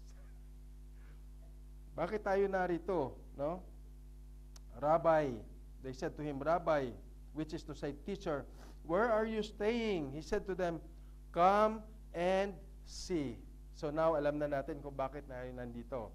Because we want to come to see Jesus and feel His goodness to us. Amen? We want to have fellowship with Jesus. They came and saw where he was staying and stayed with them that day, and they were able to get to know Jesus. Some people have disagreed, some people have disputed about the purifying, about the washing, but John the Baptist, in his loyalty to the divine calling to him, sabi niya sa kanya, let them. Okay? Let's continue on what we're doing because the time is at hand. When John was saying this, when John was about to express this to others, people did not understand him. When Jesus was teaching for, the, for three years, people did not understand him. And so all of a sudden, John was imprisoned, and what comes after John imprisonment? His head was cut and put into a plate and served as a gift to the king. Mga kapatid, walang pinag-iba sa atin yan. No? There will be persecution that we are yet to experience. There are still difficult times because the Christian life is not just a simple Christian life but there will be struggles with that life that we live. Then they came to John and said, Rabbi, he was with you beyond the Jordan, to whom you have testified, behold, he is baptizing and all are coming to him. Paano na tayo? No? Ito siguro yung tanong, paano na tayo? But look at this. It is common for men when they find themselves run, stranded into the heat of disagreement to fall foul upon those that do them no harm. Pag naipit na isang tao, kakanti sa ibang tao. No? Itong tao na to, na pinuno ng, ng inggit yung puso niya dahil sa nakita niya sinong kanyang kinante. Si John. No? Wala namang kamuang-muang si John doon. Hindi na kulang sabihin ni John the Baptist, wala akong kinalaman sa sinasabi mo. No? Wala akong kinalaman sa sinasabi mo. And so John answered and said, A man can receive nothing unless it has been given to him from heaven. Brothers and sisters, what have you been receiving from heaven? A lot of things. So many things. No? Sabi ko nga eh, yung discomfort na congested yung ilong mo, i-compare mo sa time na ang ilong mo hindi congested. No? Pero magpapasalamat ka pa rin because even if your nose is congested, you can still breathe well. Right? Which would you prefer, a headache or an, a congested nose? No? Thanks be to God, kahit alin doon, no? Kahit alin doon, no? Lord, if it's your will, so be it, no? Because at times, at times we need to have reali- realization. And, and, and if we are not mindful that everything that's happening in our lives is the will of God because we are with Him, the lives that we live is not ours anymore. Amen? So maybe God is reminding us to do something. No? I, I, I started to have discomfort last week, last Friday afternoon, upon getting home. I started to feel like, oops, iba na yung pakiramdam ko. No? But I, I kept on saying, Lord, your will be done. On Sunday, I will start my first day in a new department. Alam ka naman, mag-sick leave ako. No? First day, officially, sa bagong department. No? Then magsisick leave ako. And the funny thing was, the boss was there on that day, on a Sunday. And around 12.30, I came out of the office. And as I was in the corridor, I saw them on the other, I saw them in the other office. Sabi ng boss, Leo, akala ko, I thought you're sick leave today. No, doctor, I was just on the other office. I was busy starting to do my task. Ah, okay, okay. No? But that was already after how many hours? No? So sometimes we get reminded by circumstances in our lives because that's God's will because we are with Him. Amen? If one is not with Jesus, whatever he will experience in his life, he will think that that is a curse. Amen? Pwedeng sabihin niya, curse yun. So, in Philippians 1.18, Paul has learned a lesson here. And this is what he's telling us. What then? Only that in every way, whether in pretense or in truth, Christ is preached, and in this I rejoice, yes, and will rejoice. Lord, whatever circumstance in my life, make my life as a gospel to others. That whatever people will see in me, because I am in you, you are in me, you are being preached to others. And that is lifestyle evan- evangelism. That in spite of circumstances, you're still able to say, Lord, thank you sa buhay na to. Amen? Thank you sa buhay na to. No? Like for example, your nose is so congested, and all of a sudden someone will offer you a medication. What will you say? Ang taong bugot, hindi ko kailangan yun. Sa'yo na yan. No? But of course, na-appreciate natin because that will provide us comfort. Always remember, there is always light at the end of brownout. Oops.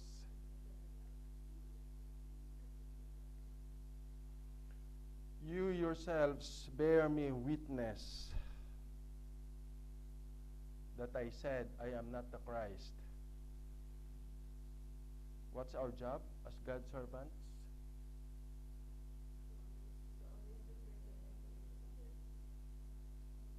In the message for today, we are seeing here the preparation of John as mandated by God.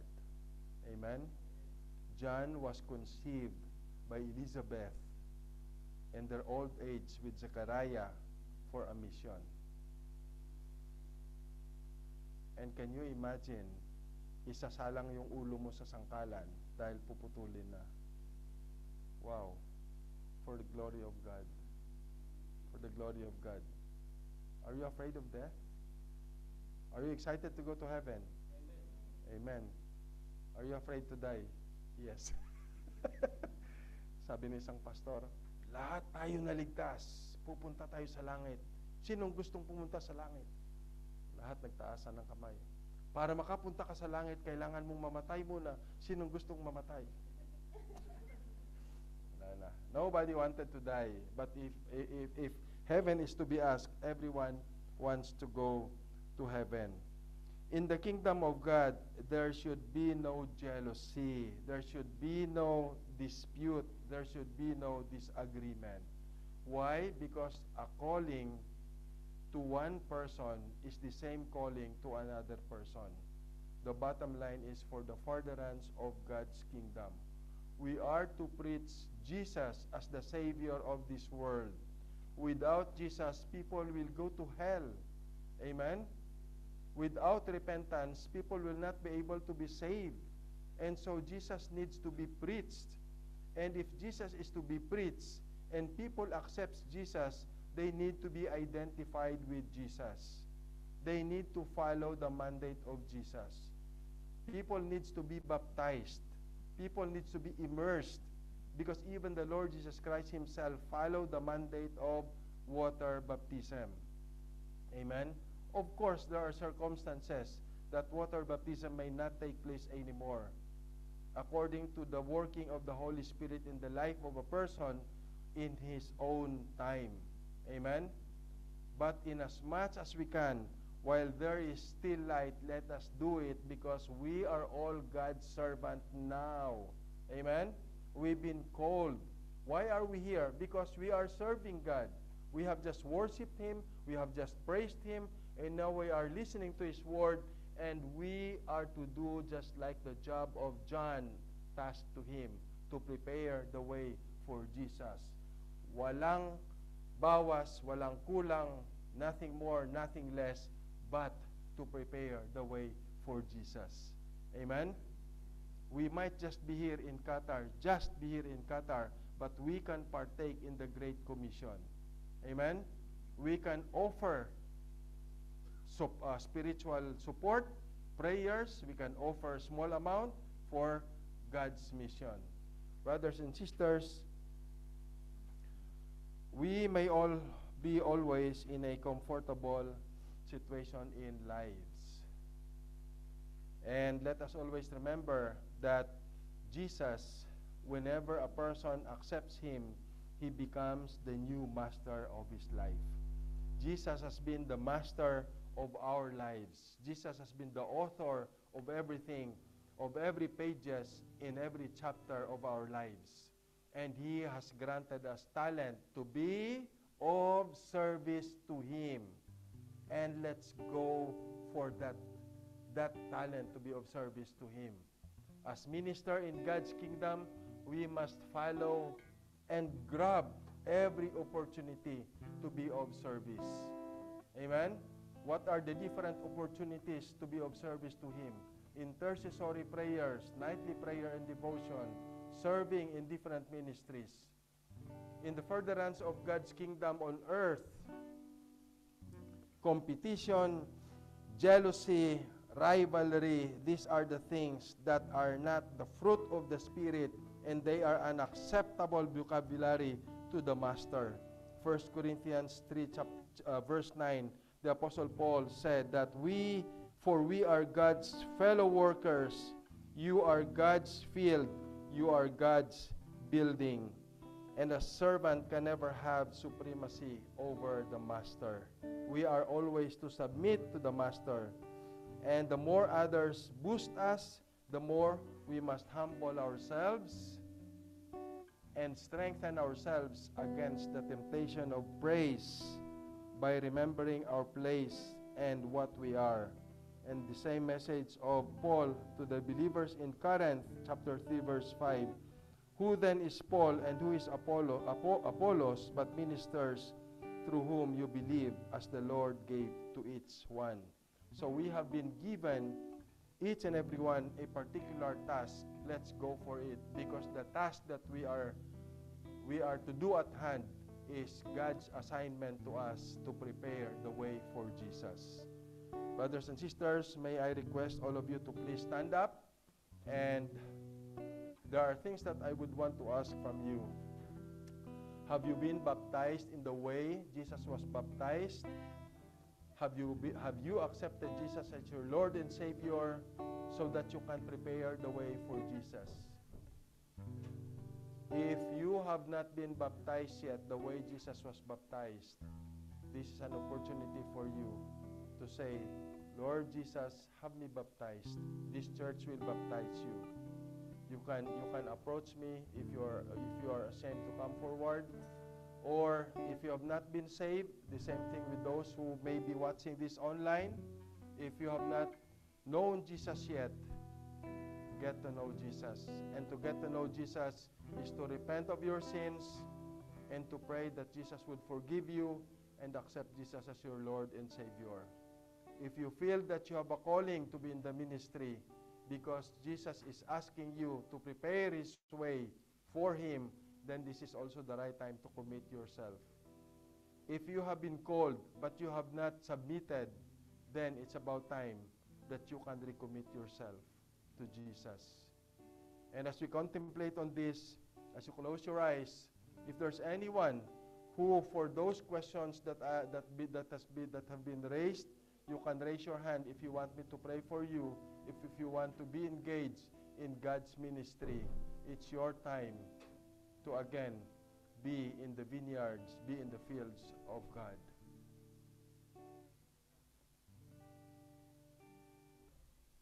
Father, thank you, Lord, for the message for today. Thank you, Lord, for your for your lordship, for your supremacy over our lives. That Father, you are teaching us to submit to you and as your servants not to be greater than you, but to be more humble, Lord. That Father, without you we can do nothing. Thank you, Lord, for my brothers and sisters today who are able to to uh, uh, accept your words. And Lord, I pray that uh, they will be able to, uh, to, to chew, to assimilate, to di- digest your words.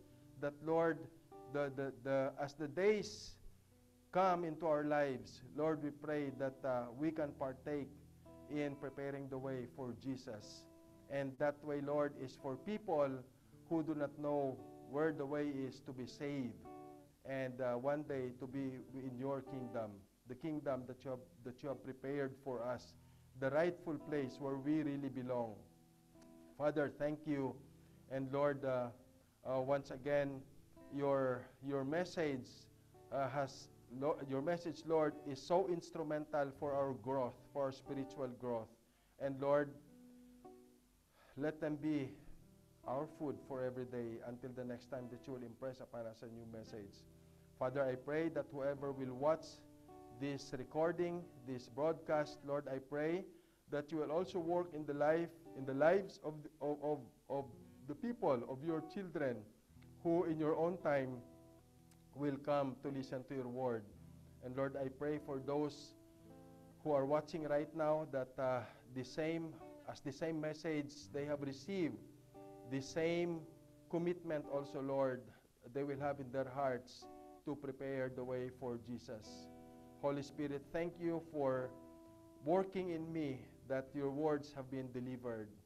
Thank you, Father, for being so so good to us. Thank you that uh, your love is so unfathomable that in our own interpre- inter- interpretation we will not get to know your words without the Holy Spirit you, are, you have sent to us working His way. Thank you, Lord, once again. And we love you. We bless you in the name of our Lord and Savior Jesus Christ. In union with the Holy Spirit, we pray in claiming the victory by saying aloud, Amen. Amen.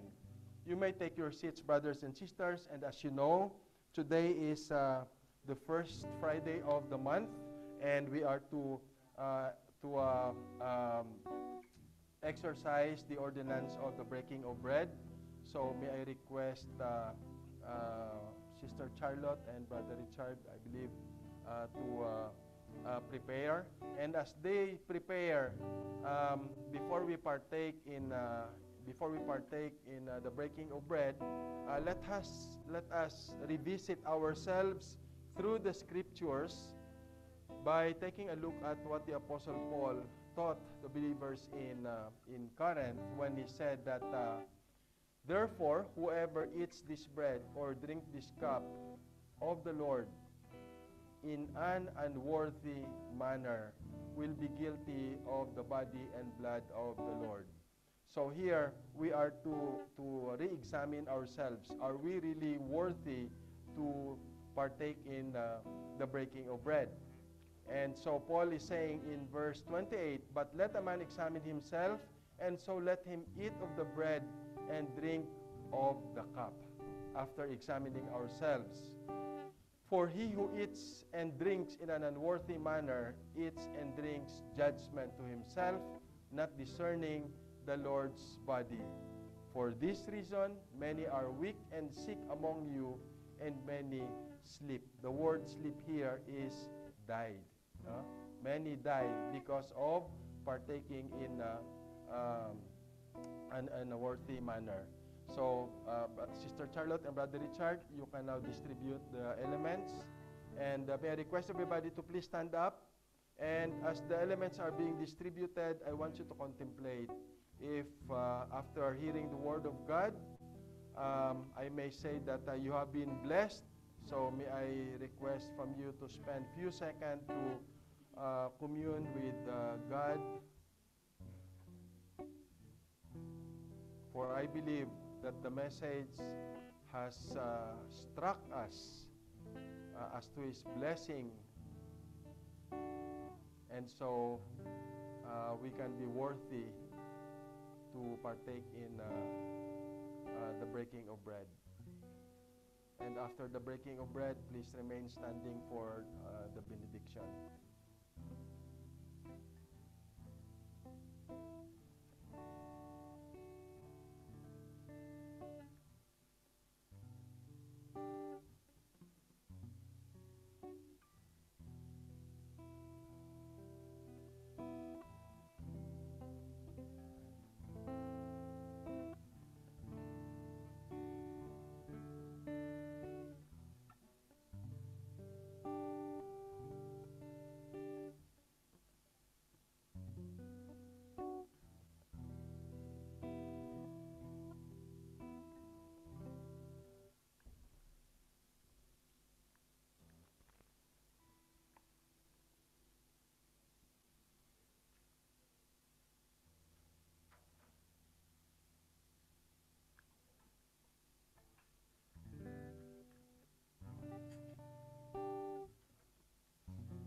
As we have prepared ourselves to partake in the breaking of bread, let us go into what the Apostle Paul is uh, telling us.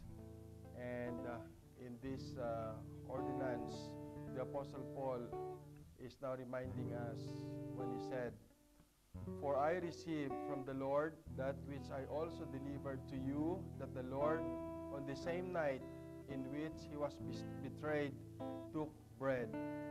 And when he had given thanks, he broke it. Let's break the bread. And said, Take, eat. This is my body, which is broken for you. Do this in remembrance of me. Let us all eat the bread.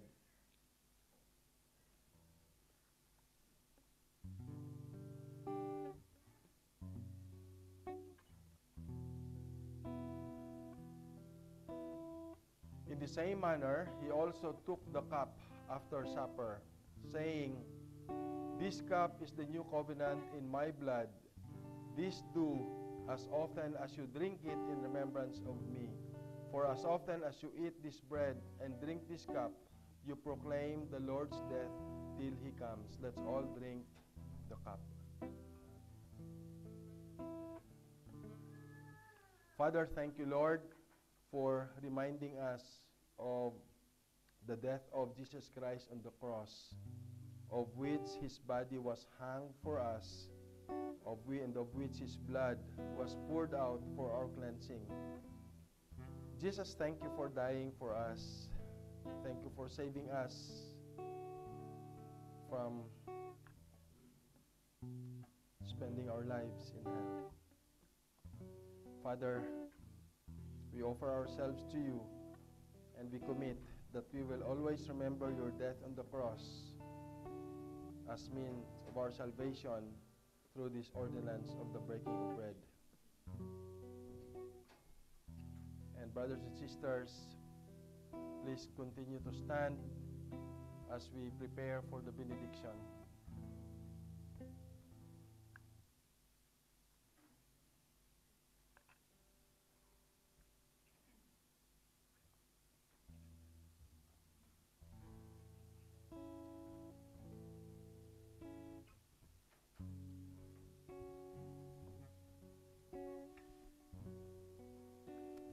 Lord God, Almighty Father, once again, thank you for what you have done unto our lives today. You have opened our hearts for your words to be implanted to the most fertile, fertile part of it. Lord, we pray that these words, Lord, will be our strength again. That, Lord, whatever the enemy will do unto us, you have already protected us as our spirits have been fed by your beautiful words, where we, Father, are going to prepare the way for your Son, Jesus, so that people will get to know him and that they will be saved from fires on hell. Lord, once again, on this day, Father, that you have made, we are glad, we rejoice, we're happy, Father, there's an unexplainable joy in our hearts because you have allowed us again to feel your presence in our midst. And we know that you will continue to be with us as you have promised us that you will never leave us, you will never forsake us. And Lord, thank you for reminding us that in whatever circumstance in our lives, you are always there and we will always have to cling to you because the Holy Spirit is now with us as you have sent to provide us comfort. Thank you, Lord, for your words. And Father, allow me to release your blessing to your children. Church, let's raise our hands and accept the benediction which says, May the Lord bless you and keep you. May the Lord make his face shine on you and be gracious to you. May the Lord turn his face toward you and give you peace. May the love of our Lord surround you and protect you throughout the week ahead. May His light shine upon your path, guiding your steps with wisdom and purpose. May you experience His grace in every moment, and may His peace, which surpasses all understanding, guard your hearts and minds. Brothers and sisters, as you leave this place, and as you continue your journey preparing the way for Jesus, go in the confidence that you are cherished by the Creator, empowered by the Holy Spirit, and embraced by the grace of God the Father through our Lord Jesus Christ. Amen and amen and amen. And as we sing, To God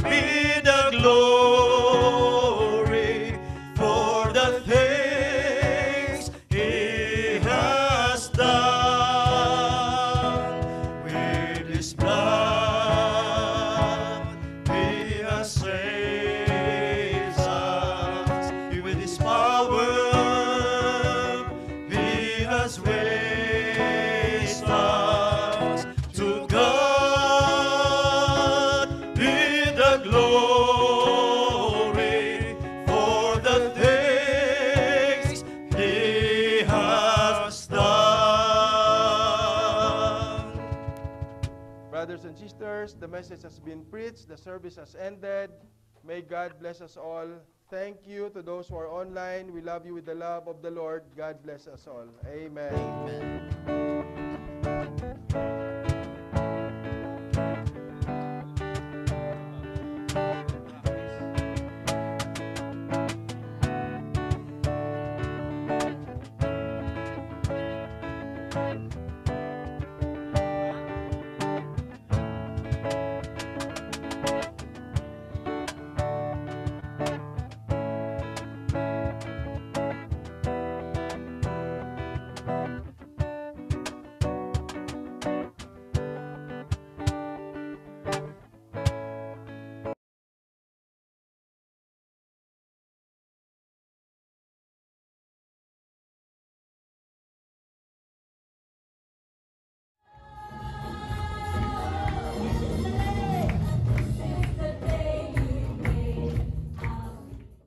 Taon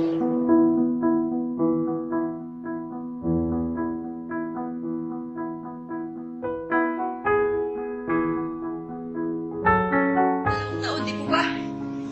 Sabi niya, mahawakan ko lang ang laylayan na yung damit ay gano'n yung babae. Mali yung babae.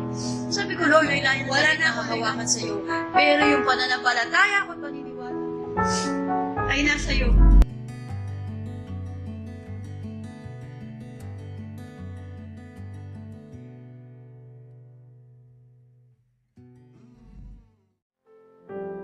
Was 2008 po nang malaman po na meron akong kuk- ah, ovarian cyst. One month pa lang po ako dito at sinabi po ng doktor na kailangan ko daw po magpo-operahan.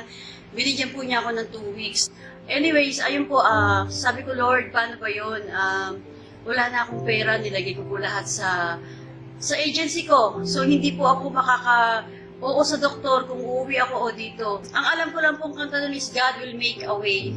So, nung two weeks na binigay sa akin ng Lord, nagdadasal ako sa Kanya, Lord, sabi ko, bigyan mo ako ng paru-parot bulaklak.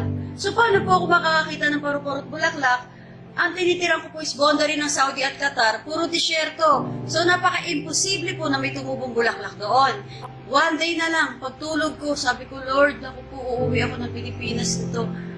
Pagbasa ko po ng roaming ko, kinabukasan, kinuha ko po. Humingi ako sa Panginoon ng paru-paro, binigyan ako ng uod. Humingi ako sa Panginoon ng bulaklak, binigyan ako ng tinik. I was disappointed sa Lord. And then, lumakad yung panahon, yung tinik po pala ay nagiging isang magandang paru-paro, ama, nagiging isang magandang bulaklak, at yung uod po pala ay nagiging isang magandang paru-paro. Tinawagan ko po yung madam ko, sabi ko, sa Qatar na ako magpapa-opera. Nung araw din po na yun, pumunta na ako ng ospital. So habang naghihintay po ako ng ah, number, lumapa po yung hamad ng style ng hamad ng araw. Nakakita po ako ng babae, kabayan, napakaganda. Sa madalit sabi po, na-admit po ako, five days na po ako sa ospital, nang biglang unti-unti bumukas yung pinto. Nakita ko yung babae na tinanong ko yung pangalan. Christian po pala. Yun po pala yung gagamitin ng Panginoon para makakilala ako sa Lord. After two days, meron siyang pinadala sa akin. Ikaw si Sister Jean. Sabi ko, opo. Si Pastor Bernie. May bitbit pang tinapay. Ayun na po. Doon na po nagsimula. Hindi na po ko tinantanan ni Pastor Bernie. Paglabas ko ng hospital, umaten po ako sa kanila sa Golden Port pa po. Eh, hindi ko po alam nakalinya pala ako sa testimony. Abay, tumayo ako. Ang sinabi ko po eh, ayun po, ako po na hospital, ako po pinagaling ng Lord, ganon. Yung 13 centimeter po yun ah, na cyst, napakalaki parang 4 months baby. Nilihis ng Panginoon isang pirma na lang ng butiki. Benign borderline of malignant po. Nilihis ng Panginoon sa benign. Praise God! May nakita sa kanan ko na isa pang ovary. So, kailangan daw pong operahan ulit. Pinag-pray po yun, hiningi ko ng prayer sa mga kapatiran. At nung, nung in-ultrasound, wala na po. Talagang lumakad ako mag-isa sa Lord. Hanggang nalaman na naman na meron akong sakit, which is chronic kidney disease. Pang mayamang sakit, di po ba? Pero hindi ako bumitaw sa Lord. Matandang-tanda ko po, 2013. Luhod sa Lord, pak, iyak. Banal na pagkatakot, Panginoon, ayoko na ng gandong buhay. For the second time, Lord, tanggapin mo ito. Binibigay ko sa iyo lahat, ayusin mo ang buhay ko, ayusin mo direksyon ng buhay ko. Inayos ng Lord ang aking buhay. May sakit man ako, hindi ito hadlang para magpuri sa Panginoon. Hindi lahat ng may karamdaman ay masama. Kung matatandaan niyo po si Hope, na napakatuwid na tao, pero dumaan sa pagsubok. Ano sabi niya? Hubad akong pinanganak, hubad akong mamamatay. Pinuri niya pa rin ang Panginoon. Kahit nasabi ng asawa niya na sumpain mo na ang Diyos. Napakasarap magpuri sa Panginoon sa kabila ng mga pagsubok. Pero yung pananampalataya ko paniniwala ay nasa iyo. Ah, sinabi po doon sa awit 118, uh, 118.17, I shall not die, but live to declare the works of the Lord. Saan ba tayo nabubuhay? Di po ba para sa Panginoon lamang? So, i-declare natin yung goodness ng Panginoon para maraming makarinig ito habang may buhay tayo. Mayroon pang panahon para isigaw sa mga tao na tunay ang Diyos, na ang Panginoon ay nakakapagpagaling, na ang Panginoon lamang ang tangi nating tanggapin para tayo ay maligtas. Hanggang ngayon po, pinanghahawakan ko ang mga pangako ng Diyos sa buhay ko. Inayos ng Lord ng buhay ko, binigyan ako ng mabait na asawa, kahit may karamdaman ako, nakakapagtrabaho ako, malakas ako. Every day when I woke up, dinideclare ko yan sa Lord, Jesus healed me, Jesus loves me. Anak ako ni Lord eh. Binabalik ko po lahat ng papurit pa sa salamat sa Panginoong Yesus. Ngayon po nakakatakbo ako ng 3 kilometer every 4.30 a.m. dahil sa kalakasan ng Diyos na binibigay sa akin. JR Team Family, miss na miss ko na po kayo. Maraming salamat po sa opportunity na ito. Nawa po ay uh, maging kasangkapan ako sa mga dumadaan sa pagsubok, lalo na po sa health. Praise God, hallelujah. Pinupuri ko po kayo, Panginoon. Pinapasalamatan ko po kayo. Sa inyo ko po tinataas ang mataas na papurit pa sa salamat. God bless po sa lahat. I shall not die, but live to declare the works of the Lord. Jesus healed me. Jesus loves me. Anak ako ni Lord eh.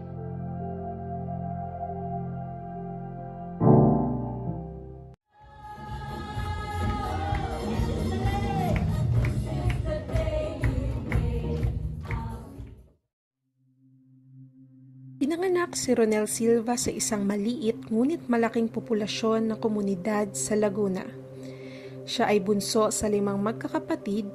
Ang kanyang ina ay isang mananampalataya at manggagawa ng Panginoon. Um, ako nga pala si Ronel Silva, um, 26 years old. Um, birthday ko is April 9, 1995. Uh, pinanganak ako sa ano sa Los Baños, Laguna. Sa Anos. Taong 2005, ang ama ni Ronel ay nagkasakit at naging paralisado ang kalahating bahagi ng katawan. Kaya natigil ito sa paghahanap buhay at ang kanyang ina ang mag-isang nagtaguyod sa kanilang pamilya. Back 2004, 2005, nagkasakit ang tatay ko. Uh, na-stroke siya. Um, namatay yung kalahating katawan niya. And hindi na siya nakapagtrabaho. So, nag-full-time ang nanay ko sa pagtatrabaho. Ang trabaho ng nanay ko is um, helper siya, katulong sa bahay ng mga ibang lahi. So, ang mga naging guidance ko lang is yung mga kapatid ko. Eh, syempre, hindi naman din nila ako mafokusan kasi parang mga 9, 19, ang pinakamatanda sa amin ang nagkasakit ang tatay ko is 19 years old lang. Dahil sa nangyari sa kanyang pamilya at hirap ng buhay ay hindi nakapagtapos si Ronel sa pag-aaral. Maraming tanong ang nabuo sa kanyang isipan na nagtulak sa kanya upang hanapin ang kasagutan sa ibang bagay. So ako yun, na, ano, napatropa ako, napatropa, ano, ah, napasayaw. So yung choreographer namin, um, nagchichonky siya, mariwana. Yung mga tropa niya, nakikita ko sila habang nagpa-practice kami, nakikita ko sila na gumagamit. Sinubukan ko, ayun, na nagustuhan ko, and then yun, naisa pa buhay ko. Napasama si Ronel sa mga kaibigan na nagturo sa kanya ng makamundong gawain. Naging dahilan ito ng unti-unting pagkasira ng kanyang buhay. Sa kabilang banda ng kanyang isipan, nais makaalis ni Ronel sa kanyang sitwasyon. Kaya sa kanyang sariling pagsisikap at sa biyaya ng Panginoon ay nakapunta siya sa Middle East at naging overseas Filipino worker.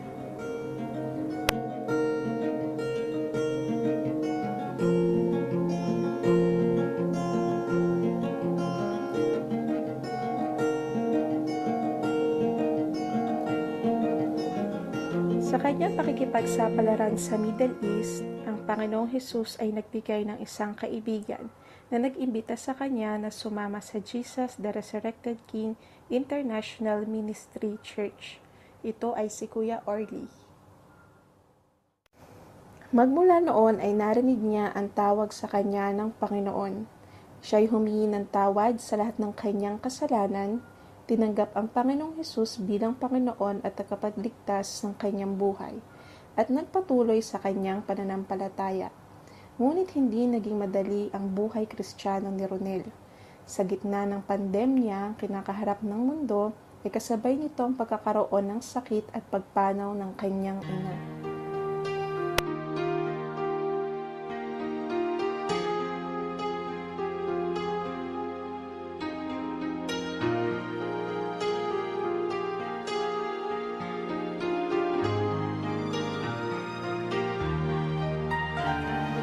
Si Ronel na magtiwala sa Panginoon na siya ang may alam sa lahat na nangyayari sa ating buhay. Hindi man naging madali ang lahat, mas nakilala niya ang Panginoon na may mabuting layunin sa kanyang buhay. Hanggang sa kasalukuyan, patuloy ang pagpapagamit ni Ronel sa Panginoong Hesus at siya'y isang buhay na patotoo ng pagmamahal at katapatan ng ating Panginoon na bumago ng isang buhay mula sa pagkakasadlak sa kasalanan hanggang sa maging matagumpay para sa kaluwalhatian ng ating Panginoon. Napakabuti ng Panginoon para ah, para patawarin niya tayo sa ating mga kasalanan. Huwag mong isipin na matagal ka nang hindi nagsisimba, huwag mong isipin na hindi ka natatanggapin ng Panginoon, uh, huwag mong isipin na pag pumasok ka sa simbahan ay masusunod ka, hindi. Nanggaling ako dyan, eto ako, nasa harapan nyo, sasalita, nagpapatunay na napakabuti ng Panginoon na handa siyang magpatawad, handa siyang magbigay ng panibagong pag-asa. Ang Diyos ay ang Diyos ng panibagong pag-asa. Ang Diyos ay ang Diyos ng panibagong panibagong kinabukasan na magbibigay ng kasisiyahan. Uh, 2 Corinthians 5.17 Therefore, if anyone is in Christ, he is a new creation. The old has gone, the new has come.